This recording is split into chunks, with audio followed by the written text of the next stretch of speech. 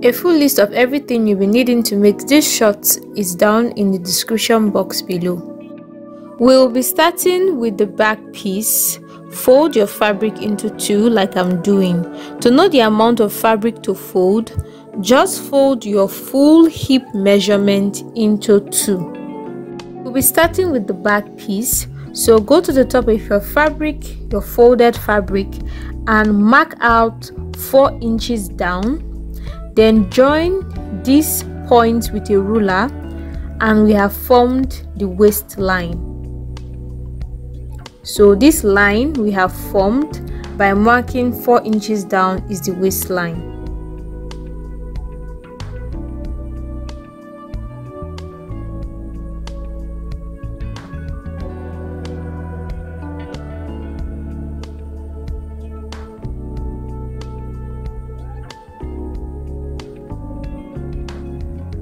Then using the waistline as our new reference, mark downwards from the waistline your hip depth, which is your waist to hip measurement, and draw a straight line across.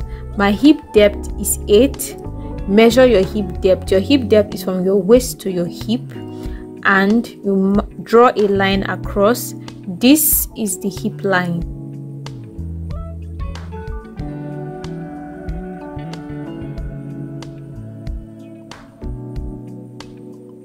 Now, also from the waistline, you will mark down your crouch depth, which is the length from your waist to the chair while sitting down. So, mark this from your waistline. Mine is 10 inches and draw a line across. This new line is the crouch line.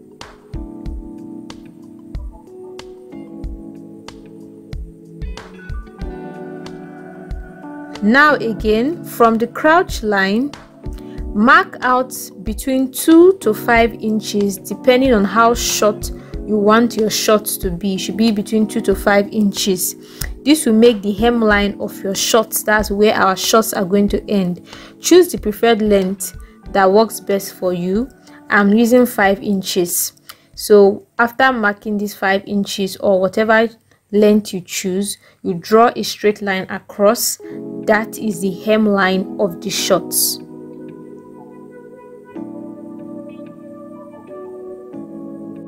now go to the folded edge of your fabric and mark and draw a one inch line. This will be the side seam. You can use half inch if you prefer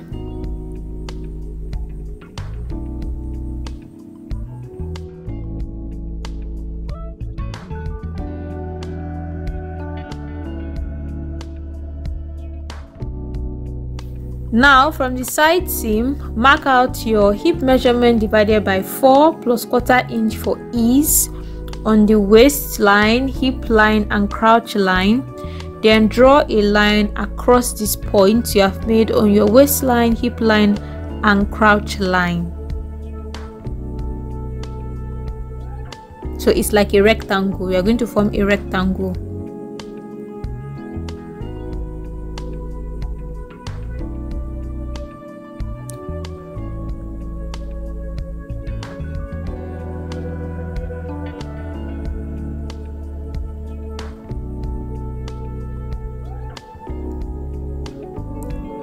Go to your crouch line and divide the measurement that's your hip measurement divided by 4 plus quarter inch that measurement divide it by 2 and mark this new measurement on the crouch line. It will form the crouch line extension. So just look at it as i have done.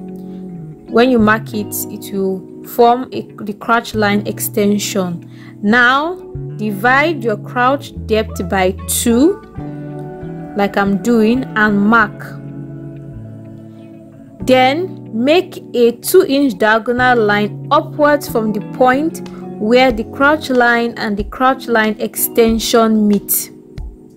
A 2 inch diagonal line like I'm doing at the point where the crouch line and the crouch line extension meet. Now make a smooth curve from the mark you made on the crouch depth to the crouch line extension passing through that 2 inch diagonal line. Curve it smoothly like I am doing. Just like I'm doing.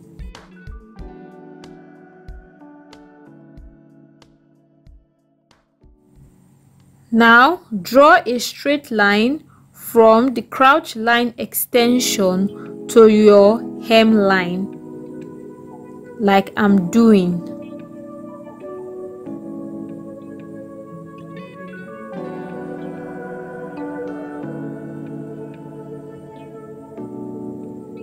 On your hemline, you will go in by quarter inch at the inseam and half inch at the side seam quarter inch at the inseam and half inch at the side seam. And you will join these new points to your crouch line at the inseam and side seams respectively just like I'm doing. So just follow my steps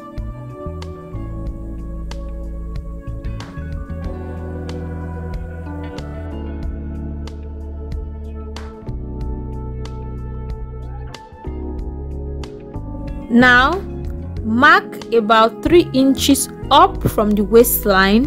This will be used to make the channel that will house the elastic band. So just 3 inches upwards from your waistline. And draw a line across. So this has formed the channel where we're going to pass our elastic band through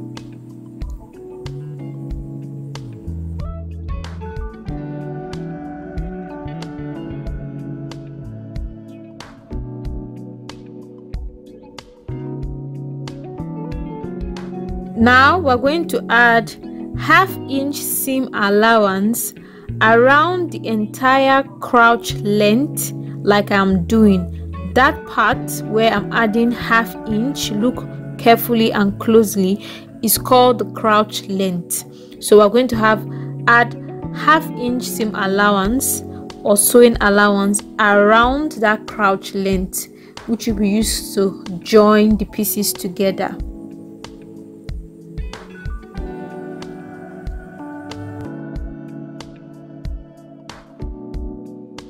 Now we're going to add 1 inch seam allowance around the side seam, the hemline and the inseam respectively.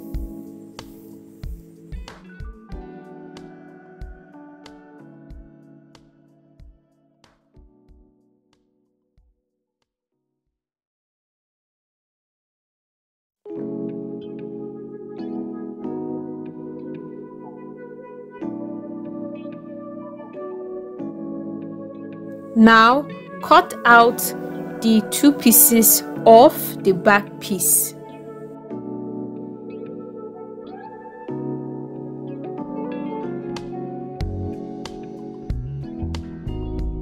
The front piece of the short is cut the same way as the back. The only difference is in the length of the crotch line extension. So repeat the steps of drawing 4 inches from the top of the fabric to form the waistline, drawing your hip and crotch line from your waistline and drawing your hemline from your crouch line using the same measurements as that of the back piece. So it's a replica of the back piece at this stage. Also, draw the 1 inch line from the folded edge to form the side seam like the back piece like we did in the back piece and square out from your waistline hip line and crotch line your hip measurement divided by 4 plus quarter inch for ease and join these points to form a line just like we did in the back piece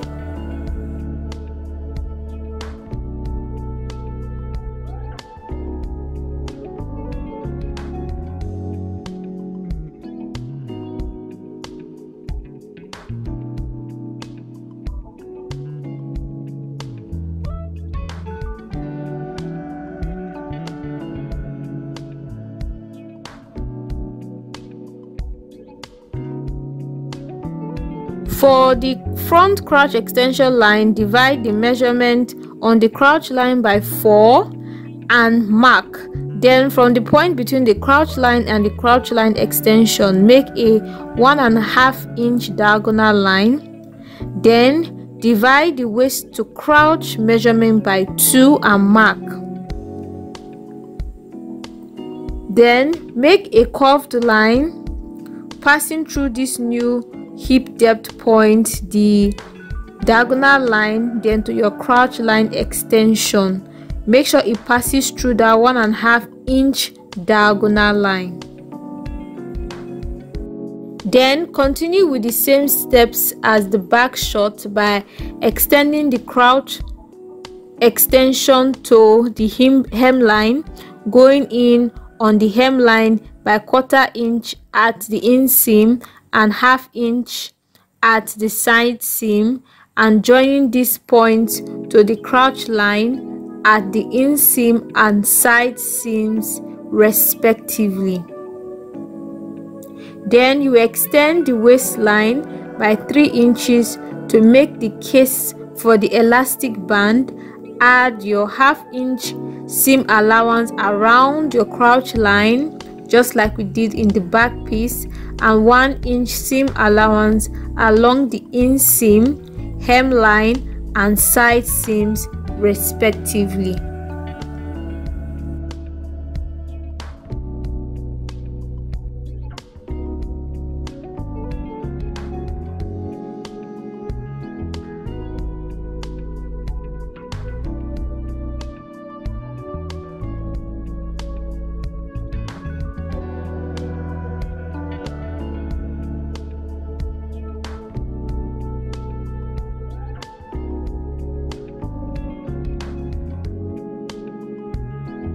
Now cut out your front piece.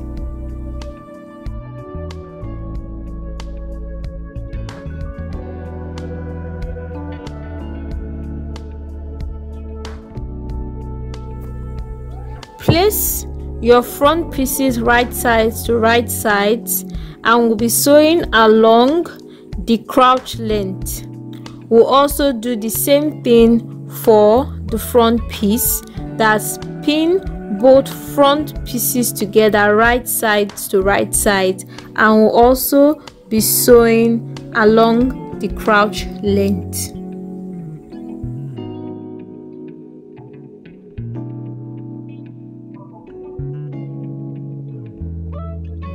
Go to your sewing machine and sew on a half inch sewing allowance around the crouch length. So we're sewing around the crouch length on a half inch sewing or seam allowance.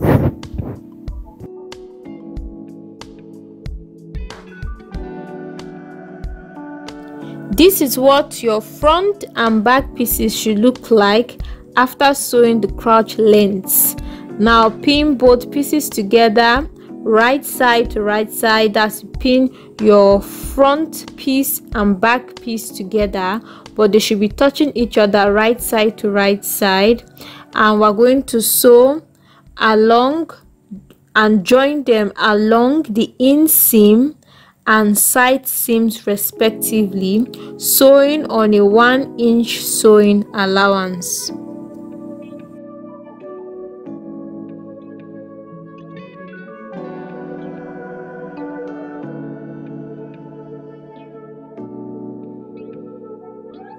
Go to your sewing machine now and join these two pieces right side to right side along the inseam and side seams with a 1 inch sewing allowance.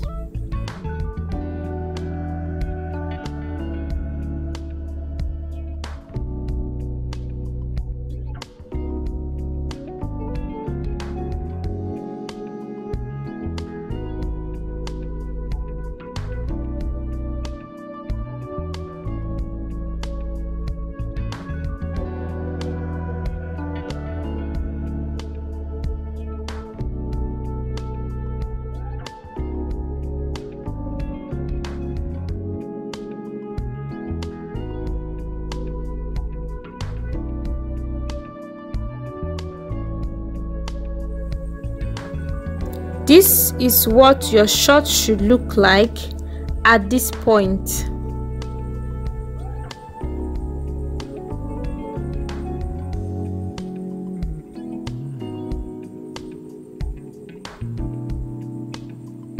Now to form the elastic band case or channel that will house your elastic band, fold the 3 inch extension into two and fold over again like I'm doing. Now pin to hold in place like you see me do.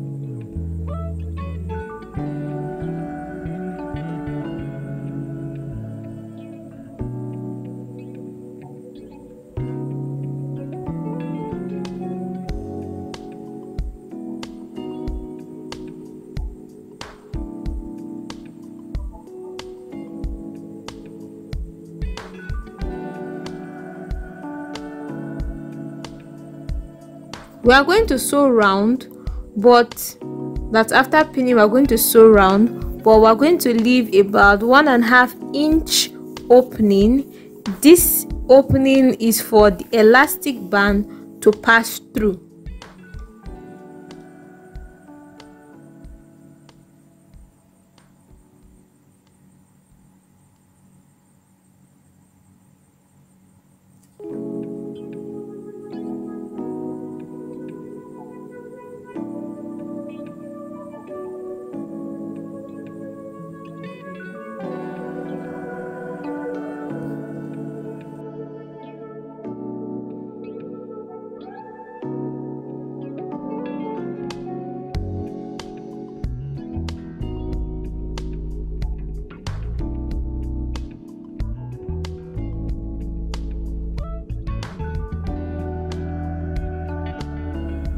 Now go to the hemline and also pin in place preparing it for stitching.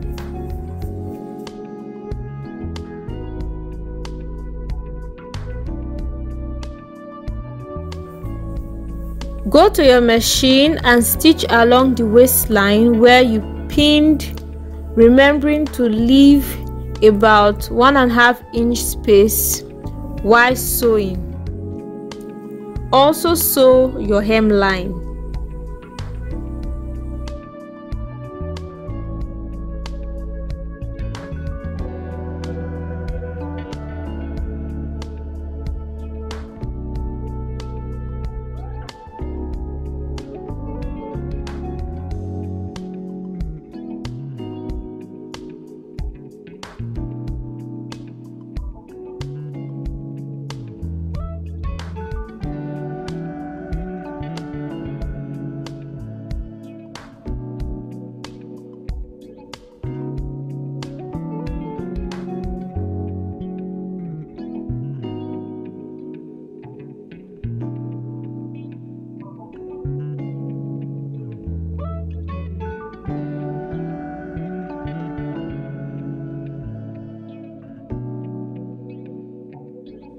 Fix your elastic band into the waist, the channel you have created and close up the opening.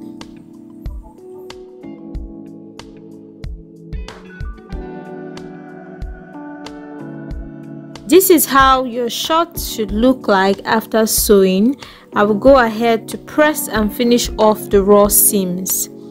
This short tutorial does not have a pocket. Another tutorial will be uploaded on how to make elastic band shorts with pockets. Don't forget to like, comment, subscribe, share and turn on the notification bell.